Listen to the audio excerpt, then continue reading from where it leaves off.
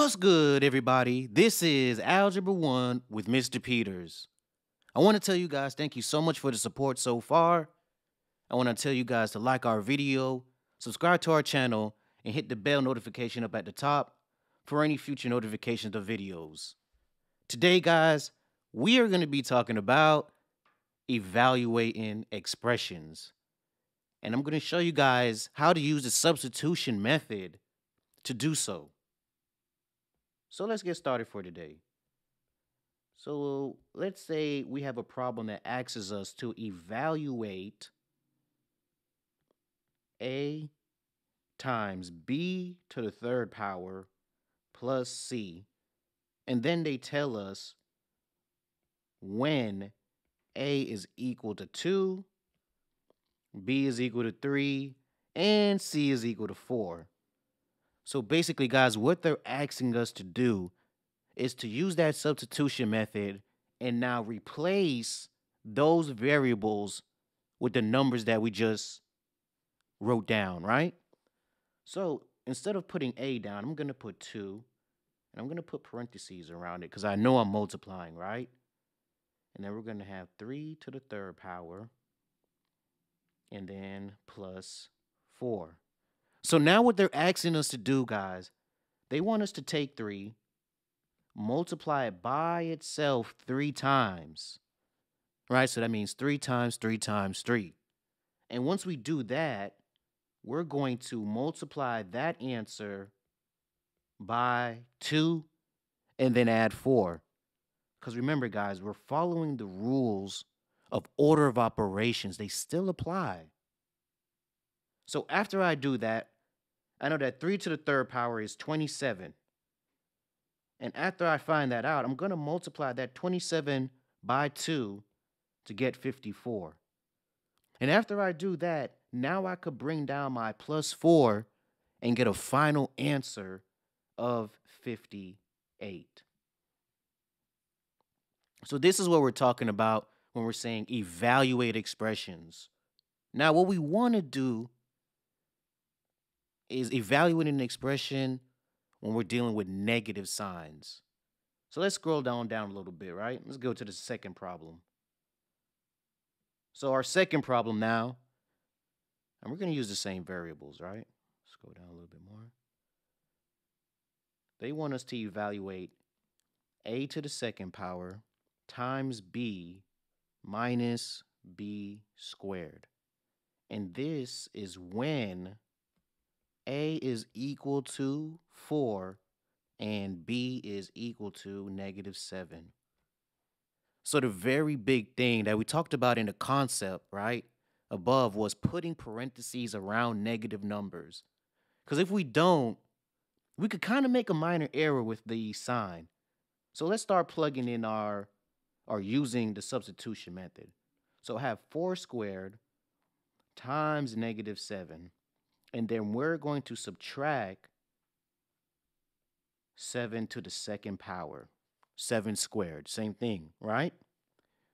So let's go back now and do this. So we have 16 times negative 7, and then we're going to subtract 49. Now, I know a lot of you guys are thinking, hold on, Mr. Peters. I know that negative 7 squared, I'm sorry, I forgot the negative sign. I knew it was going to be positive. but we know that negative 7 squared is going to give us a positive 49, which it does, right? However, we still have to pay attention to that subtraction sign out of in front. So even though our 49 is positive, we're still going to be subtracting it from 16 times negative 7. All right? So when we go back and we are following order of operations, like we said before, we're going to multiply and we're going to get negative 112. And that negative 112, we're going to subtract 49 from it.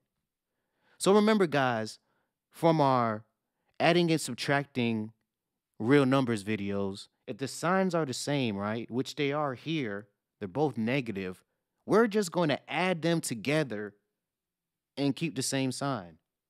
So this is going to be 112, right? Negative 112. We're adding negative 49 to it, and that'll give us negative 161. All right, and just remember, guys, another way to write this is negative 112 plus negative 49, like I just wrote out. All right, so I think we got time for one more problem. So let's look at one more problem where we're evaluating expressions and we have to plug in a negative number. And this one, oh, this one has fractions. So let's say we have 7 times c to the second power, and we're going to add 5 to that. And after we do that, we want to divide that by 4 times a minus b. And this is when a is equal to 1, b is equal to negative 5, and c is equal to negative 4. Now, biggest thing for us to remember is just to make sure that we put parentheses around all our negative numbers. I normally tell students just to put it around every number that you substitute. Makes it easier for you not to forget. All right, so now we just finished substituting. And I really want you guys to pay attention to the B part.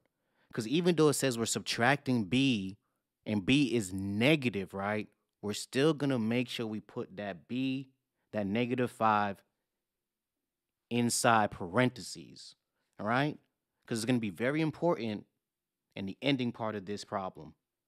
So let's just kind of uh, solve the split the fraction to solve. So 7 times, oh, I forgot my squared. My gosh, sorry. All right. So we're going to have 7, and then we need to multiply that by 4 squared, right? Remember that negative 4 squared is just negative 4 times negative 4, right? So that's what we just need to remember. So when we do that, we're going to get a positive 16. So we're going to multiply 7 times positive 16, and then we want to add 5 to that answer. So once we do that, we're going to get 112 plus 5. So the final answer for our numerator is 117. Now let's go back to the denominator and let's take care of that. So as I look in the denominator, guys, we have two negative, or should I say subtraction signs, right? Remember that when you're subtracting a negative number, it turns into an addition problem. So what they're basically saying in the denominator is 4 plus 5. And we could just simplify that, or add that, I should say, to 9. And we could leave our answer as 117 over 9. Or we could divide and get a number of 13. So thank you guys for joining us today. This is Algebra 1 with Mr. Peters, evaluating expressions. Please make sure to join us next time. Thank you again.